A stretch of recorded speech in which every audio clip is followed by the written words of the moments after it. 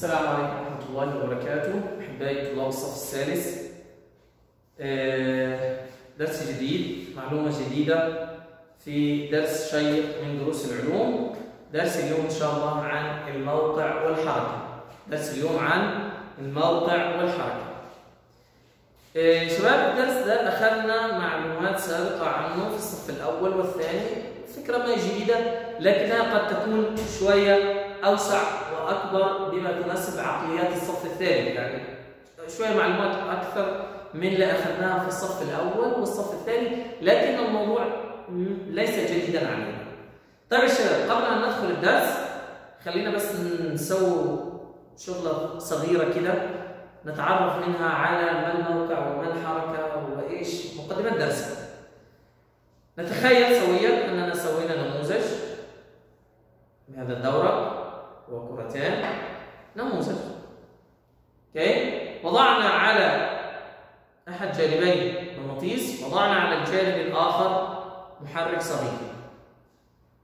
أبغى حد يوصف لي موقع هذا النموذج بالنسبة للمغناطيس وبالنسبة للمحرك؟ آه أحسنت برافو عليك سؤال وجيه. توصف من وجهه نظري أنا وكأني أنا اللي بوصف النموذج وكأنك أنت واقف مكاني عشان تعرف تحدد النموذج فين بالنسبة للمغناطيس وبالنسبة للمحرك. رائع ممتاز إجابة رائعة. أحسنت برافو عليك إنس تفضل. فعلا زميلكم بيقول ان المحرك المحرك الكهربي يقع على بالنسبة لي يقع على يمين النموذج. يقع على يمين النموذج. والمغناطيس يقع على يسار النموذج. يسار النموذج. طيب. برافو عليك. ممتاز.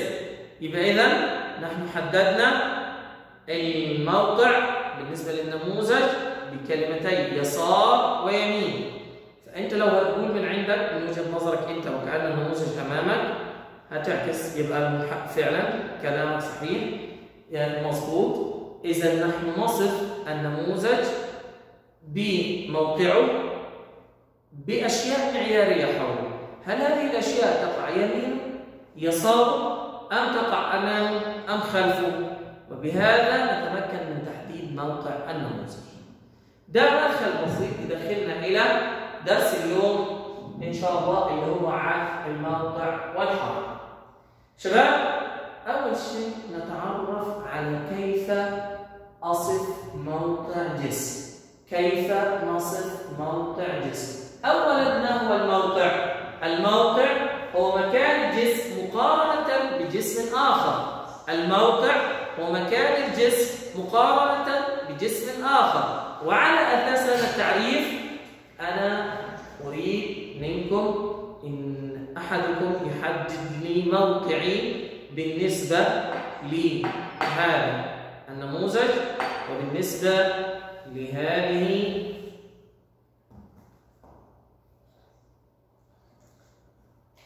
وبالنسبة لهذا النموذج. ها رائع ممتاز. موقعي أنا يقع على يميني على يساري هذا النموذج ويقع على يميني تلك الممسحة. برافو عليك. وبذلك نستطيع أن نحدد موقع جسم ما مقارنة بجسم آخر ولكن باستعمال كلمات محددة. هي فوق تحت يسار يمين. فوق تحت يسار يمين. فهذه الكلمات هي التي تحدد لي بدقة أين يقع الجسم بالنسبة لجسم آخر. أين يقع الجسم بالنسبة لجسم آخر؟ أحسنت طيب عندما نحدد الموقع هناك كلمة مرتبطة بالموقع وهي المسافة. المسافة. هل هذا الموقع هل هذا الجسم يقع على مسافة كم من الجسم الآخر جهة اليمين؟ هذا الجسم أو هذا المجسم يقع على مسافة كم من هذا الجسم جهة اليسار؟ طيب المسافة هي مقدار البعد بين جسمين أو مكانين. تاني يا شباب المسافة هي مقدار البعد بين جسمين أو مكانين. نموذجان بينهما مسافة. نستطيع أن نقول أن تقديرا أن المسافة بين الجسم رقم واحد والجسم رقم اثنين تقريبا حوالي 20 سم برافو عليك أحسنت. طيب إذا كبرنا المسافة قليلا نقول إن المسافة بين الجسم رقم واحد والجسم رقم اثنين تقريبا واحد متر.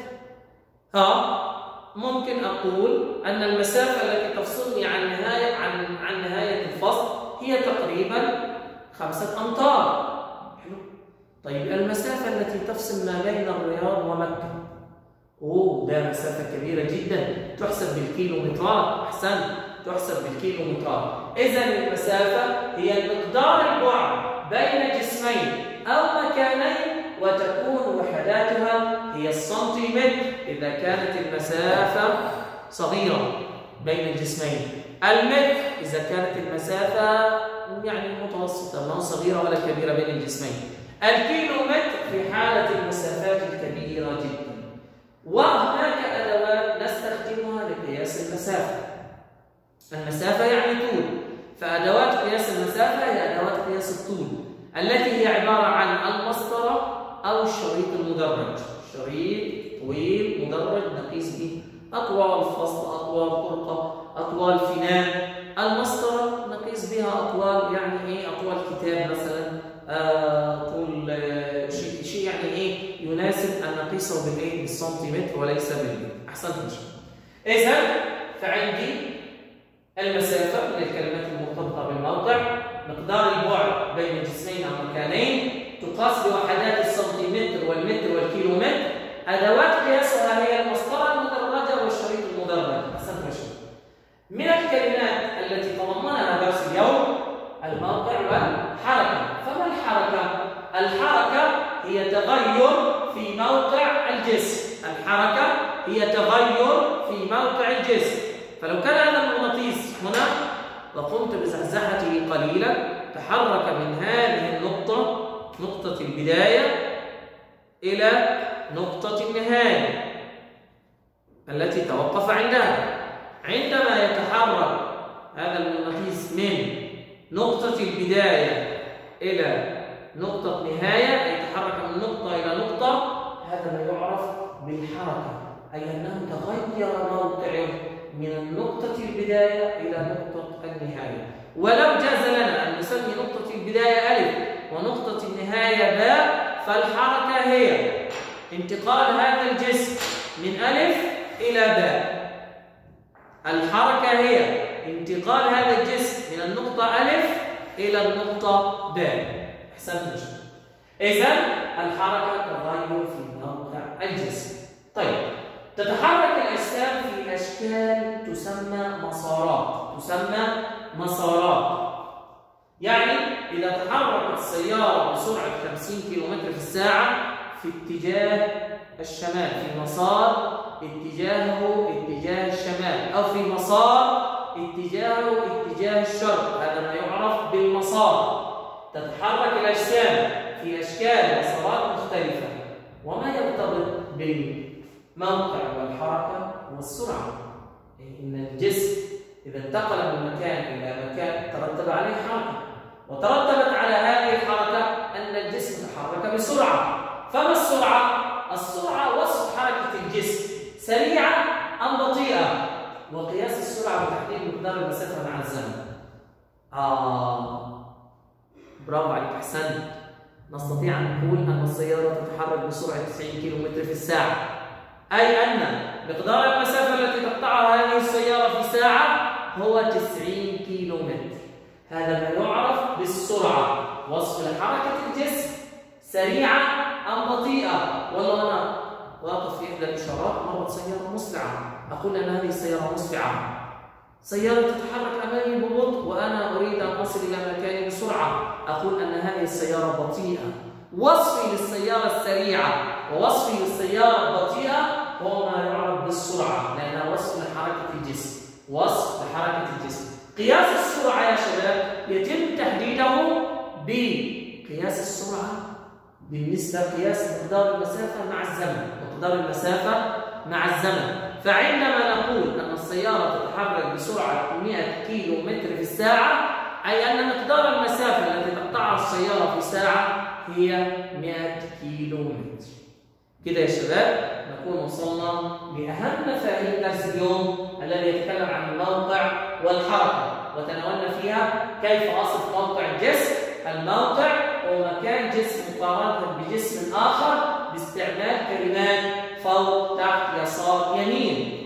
المسافة هي مقدار البعد بين الجسمين أو مكانين ويستخدم لقياسها وحدات السنتيمتر والمتر والكيلومتر وأداة قياسها هي المسطرة أو الشريط المدرج الحركة تغير في موقع الجسم تتحرك الأجسام في أشكال مسارات مختلفة السرعة وصف لحركة الجسم سريعة أم بطيئة وقياس السرعة يتم تحديد مقدار المسافة مع الزمن. تقدير المسافة مع الزمن. كده نكون وصلنا لنهاية درس اليوم. أتمنى أن نلقاكم على خير إن شاء الله في درس جديد شيق من دروس العلوم. والسلام عليكم ورحمة الله وبركاته.